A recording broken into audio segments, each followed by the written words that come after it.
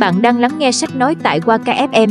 Sau đây là phiên bản tóm tắt của cuốn sách Thời thơ ngây, tác giả Y đi qua tình, dịch giả Bùi Khánh Vân. Thời thơ ngây là tác phẩm đã giúp nhà văn Y đi qua tình có được giải thưởng danh giá Pulitzer vào năm 1921. Bằng giọng văn châm biếm và hài hước, Y đi qua tình đã tái hiện trong thời thơ ngây hình ảnh xã hội New York vào những năm thập niên 1870 với những lề thói cổ hủ và lạc hậu, khiến con người ta không thể sống thật với tình cảm của bản thân. Tuy nhiên, cuốn tiểu thuyết đồng thời cũng mang theo chút hoài niệm của tác giả đối với thời vàng son của Hoa Kỳ, thứ đã hoàn toàn bị phá hủy sau cuộc khủng hoảng kinh tế năm 1914.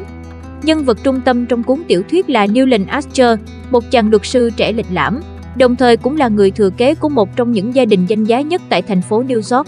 Không những thế, Newland còn đang hạnh phúc mong chờ cuộc hôn nhân đáng mơ ước của mình với May Whelan, một cô gái xinh đẹp và lớn lên trong nhung lụa đến từ gia tộc Mingot quyền lực. Tuy nhiên, suy nghĩ của chàng luật sư trẻ đã thay đổi sau khi gặp được bá tước phu nhân Ellen Olenska, người chị họ quyến rũ của May, tại một buổi hòa nhạc. Trong giới thượng lưu New York, Ellen là người phụ nữ mang tiếng xấu vì tin đồn rằng cô đã bỏ chồng của mình, một vị bá tước Ba Lan, để chạy theo gã đàn ông khác. Lần đầu tiên gặp lại sau nhiều năm, Newland đã không có ấn tượng tốt với Ellen, một phần bởi tiếng xấu của cô, và một phần bởi vị bá tước phu nhân gọi xã hội thượng lưu New York là chốn cũ thân thương, điều hoàn toàn tương phản với nhận thức của chàng luật sư trẻ. Tối hôm đó, trong một buổi dạ hội dành riêng cho giới thượng lưu New York tại dinh thự Beaufort, May chính thức tuyên bố về việc bản thân đã đính hôn với Newland và cặp đôi trẻ đã lén hôn nhau khi không ai để ý. Chàng luật sư cũng cảm thấy vui vẻ vì Ellen đã biết điều và không cùng May tới dự buổi dạ hội. Dẫu vậy, trong một bữa tiệc tối cùng gia đình mình và vài người khách thuộc giới thượng lưu, Newland lại lên tiếng bảo vệ Ellen khi những vị khách nói xấu về cô. Mặc dù lý do mà chàng luật sư trẻ đưa ra là bởi Ellen đã lấy phải một gã vũ phu và phụ nữ cần phải được tự do. Đồng thời, Nhi Lình cũng dần cảm thấy băn khoăn với cuộc hôn nhân sắp tới của bản thân, bởi May là một cô gái ngây thơ tới mức khiến người ta cảm thấy giả tạo, còn chàng luật sư trẻ lại mang theo quá khứ và chưa hề chia sẻ con người thật của mình với vị hôn thê. Điêu Lình lo lắng cuộc hôn nhân tương lai của bản thân cũng sẽ luôn tràn ngập dối lừa, điều mà chàng luật sư đã chứng kiến rất nhiều trong xã hội thượng lưu New York. Bà Lavo Mingot, dì ruột của Ellen và May, quyết định tổ chức một bữa tiệc chào đón cô cháu gái bá tước phu nhân trở về. Tuy nhiên bữa tiệc lại bị giới thượng lưu New York tẩy chay.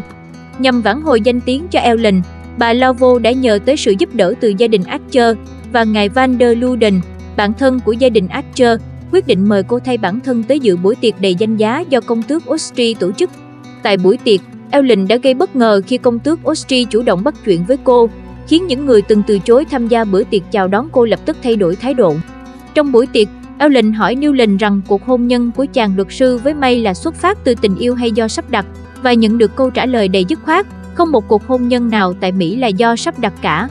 Mặc dù sau đó giữa Newland và Ellen vẫn tiếp tục tồn tại những xung đột về mặt tư tưởng, thế nhưng chàng luật sư trẻ cũng dần bị hấp dẫn bởi tính cách phóng khoáng của vị bá tước phu nhân, người ngang nhiên phá vỡ những quy tắc cứng nhắc và khắc khe của xã hội thượng lưu New York, thứ mà chính bản thân Newland đôi khi cũng cảm thấy quá mức ngột ngạt cùng giả tạo. Nhận lời ủy thác của ngài Lester Blair, một vị luật sư lâu năm làm việc cùng văn phòng luật, Newland đã cố gắng thuyết phục Ellen cân nhắc về việc ly hôn với bá tước Olensky. Sống ly thân thì có thể, nhưng thực sự ly hôn sẽ khiến cho danh tiếng chịu vết nhơ không sao rửa sạch. Vị bá tước phu nhân miễn cưỡng chấp nhận lời đề nghị đó của Newland. Tuy nhiên, quá trình này cũng khiến chàng luật sư trẻ càng trở nên quan tâm hơn với Ellen. Lo sợ bản thân sẽ rơi vào lưới tình với Ellen, Newland cố gắng thuyết phục May đẩy nhanh hôn lễ của hai người, tuy nhiên cô lại không chấp nhận lời đề nghị đó, bởi nó khác với lệ thói do xã hội thượng lưu New York đặt ra. Vài tuần sau, Newlin quyết định thổ lộ tình cảm của bản thân với Ellen. Mặc dù cũng dành tình cảm cho chàng luật sư trẻ, tuy nhiên Ellen không mong muốn Newlin đến với mình, bởi điều này sẽ làm tổn thương May. Đúng lúc này, Newlin nhận được một bức điện tín thông báo rằng May đã chấp nhận tổ chức hôn lễ sau một tháng nữa, nhờ vào công thuyết phục của Ellen cùng phu nhân Mingott, nữ chủ nhân gia tộc Mingott. Mặc dù đã thực sự cưới May, nhưng Newland vẫn không sao quên được Ellen, dẫu cho hai người chưa từng lần nữa gặp nhau trong suốt gần 2 năm. Ellen dường như luôn cố gắng tránh mặt Newland, còn chàng luật sư trẻ thì cảm thấy cả cuộc sống hôn nhân cùng giao thiệp xã hội của bản thân trở nên vô cùng tẻ nhạt và trống rỗng. Gia tộc Mingot muốn Ellen quay trở lại châu Âu bên bá tước Olensky, nhưng cô từ chối. Điều này khiến cô bị cắt khỏi mọi nguồn trợ cấp tài chính từ cả chồng và gia tộc. Đúng lúc Erlin đang băn khoăn liệu mình có nên trở về với cuộc hôn nhân kém hạnh phúc kia không, thì Newlin bất ngờ xuất hiện, sau khi chàng luật sư đã cố gắng tìm mọi cách để gặp được cô. Newlin thuyết phục Ellen lưu lại nước Mỹ và chia sẻ rằng cuộc hôn nhân của mình chưa hẳn đã hạnh phúc, bởi chỉ Ellen mới cho chàng luật sư thấy được cảnh tượng chân thực của cuộc sống. Cô nàng May dần trở nên phóng khoáng hơn, tuy nhiên trong mắt Newlin thì cô vẫn không thể so sánh được với Ellen. Đúng lúc này, phu nhân Mingot bất ngờ ngã bệnh và cho gọi Ellen quay trở về New York. Mặc dù vướng công chuyện, thế nhưng Newlin vẫn nói dối vợ nhằm được đích thân tới đón Ellen. Mặc dù biết chồng thiếu trung thực, tuy nhiên lệ thói của xã hội thượng lưu không cho phép May chất vấn Newlin và chỉ có thể lặng lẽ rơi nước mắt. Trên xe ngựa, chàng luật sư trẻ khẳng định tình yêu của mình với Ellen và thể hiện mong muốn được cùng cô bỏ trốn. Anh muốn được cùng em bước vào một thế giới nơi những khuôn phép và tầng lớp xã hội không tồn tại. Nơi đó, chúng ta chỉ đơn giản là hai con người yêu nhau, dành toàn bộ cuộc đời của mình cho người kia và không có gì khác trên đời là quan trọng nữa. Ngày hôm sau, phu nhân Mingot gọi Newland tới nói chuyện riêng và tuyên bố rằng mình sẽ không ép Ellen quay trở về châu Âu nữa, mà giữ cô lại New York để giúp chăm sóc cho bà. Phu nhân Mingot đề nghị Newland thuyết phục các thành viên khác trong gia tộc chấp thuận với quyết định trên và chàng luật sư trẻ lập tức đồng ý. Sau đó, Newland tiếp tục khẳng định tình yêu của mình với Ellen, khiến cô miễn cưỡng đồng ý sẽ cùng Newland ngoại tình. Tuy nhiên, thực ra Ellen lại lo sợ sẽ khiến May bị tổn thương và quyết định quay trở về châu Âu. Newland đã rất sốc khi nhận được thông tin này, rồi cũng hạ quyết tâm sẽ bỏ May để tiếp tục theo đuổi Ellen tới tận châu Âu. Sau bữa tiệc mà vợ chồng May tổ chức nhằm chia tay Ellen, Newland định thông báo lựa chọn của mình với May, nhưng cô lại lên tiếng xác nhận trước rằng mình đang mang thai. May cũng tiết lộ rằng cô đã nghi ngờ bản thân đang mang thai được một thời gian và hai tuần trước đã chia sẻ điều này với Ellen.